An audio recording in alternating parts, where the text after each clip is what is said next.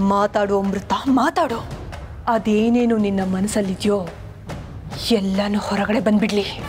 ಆಮೇಲೆ ನಾನು ಏನು ಮಾಡಬೇಕು ಅನ್ನೋದು ನನಗೆ ಚೆನ್ನಾಗಿ ಗೊತ್ತಿದೆ. ಹೇಳು ಶೇಷ. ನಮ್ಮ ಈ ಸಂಬಂಧಕ್ಕೆ ನೀನು ಧಕ್ಕೆ ಮಾಡಲ್ಲ ಅಲ್ವಾ?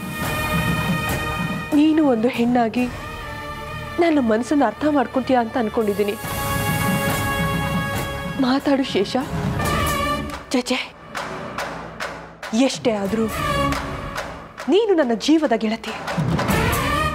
ನಿನ್ನ ಭಾವನೆಗಳಿಗೆ, ನಿನ್ನ ಕನಸುಗಳಿಗೆ ಧಕ್ಕೆ ತರುವಂತ ನೀಚ ಕೆಲಸನ ನಾನು ಮಾಡ್ತೀನ ಹೇಳು?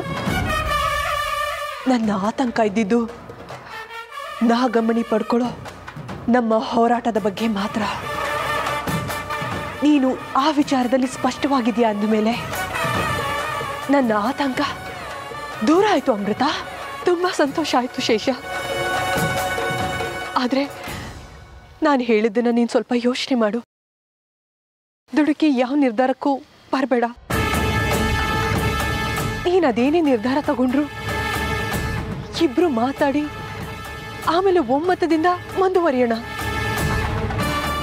ಹಾಗೆ ನಾಗಮಣಿ ಪಡ್ಕೊಳ್ಳೋ ಹೋರಾಟದಲ್ಲಿ ನನ್ನ ಉದ್ದೇಶದ ಬಗ್ಗೆ ನನಗಿರೋ ಬದ್ಧತೆ ಬಗ್ಗೆ ನಿನಗೆ ಎಳ್ಳಷ್ಟು ಅನುಮಾನ ಬೇಡ ಶೇಷ. ನನ್ನ ಗುರಿ ದಿಟ್ಟವಾಗಿದೆ.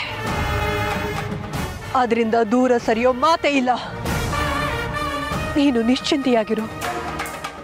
ಹಾಗೆ ನಮ್ಮ ಈ ಹೋರಾಟದಲ್ಲಿ ಏನೂ ತಪ್ಪು ಮಾಡಿರದ ನಿಷ್ಪಾಪಿಗಳಿಗೆ ಶಿಕ್ಷೆ ಆಗೋದನ್ನ ನಾನು ಒಪ್ಪಲ್ಲ ಆದರೆ ಆ ಮನೆಯಲ್ಲಿ ಎಲ್ಲರೂ ದುಷ್ಟರಲ್ಲ ಅನ್ನೋದು ನಿನಗೂ ಗೊತ್ತಲ್ವ ಶೇಷ? ನಿಷ್ಪಾಪಿಗಳಿಗೆ ತೊಂದರೆ ಕೊಟ್ರೆ ಆ ಪಾಪದ ಫಲ ನಮಗೆ ಸುತ್ಕೊಳ್ಳುತ್ತಲ್ವ ಶೇಷ. ಅದಕ್ಕೆ ನಾನು ಹೇಳಿದ್ದು.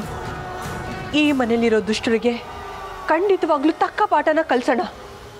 ಅದಕ್ಕೆ ಯಾವ ಕ್ಷಮೆನೂ ಇಲ್ಲ. ಅವರಿಗೆ ಕ್ಷಮೆ ಇಲ್ಲವೇ ಇಲ್ಲ. ಆದರೆ ಒಳ್ಳೆಯವರಿಗೆ, ಅಮಾಯಕರಿಗೆ ತೊಂದರೆ ಕೊಡೋದು ಬೇಡ ಶೇಷ. ಸರಿ, ಅಮೃತ. ನಿನ್ನ ಕಾಳಜಿ ನನಗೆ ಅರ್ಥ ಆಗ್ತಿದೆ. ನಿನ್ನ ಮಾತಿನಂತೆ ಆಗಲಿ. ಹಾಗಾದ್ರೆ ನಾನೀಗ ನಿಶ್ಚಿಂತೆಯಿಂದ ಹೊರಡ್ಬೋದಲ್ವಾ? ಯೋಚನೆ ಮಾಡಬೇಡ ಅಮೃತ. ಇನ್ನು ಮುಂದೆ ಈ ರೀತಿ ಘಟನೆಗಳು ಆಗಲ್ಲ.